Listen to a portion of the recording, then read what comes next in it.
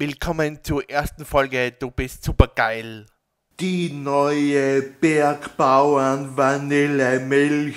Es gibt mehrere wissenschaftliche Beweise für die Schädlichkeit der Kuhmilch. Ich trinke keine Milch, weil ich bin super geil und super lässig und super cool. Aber ich tu es. Prost.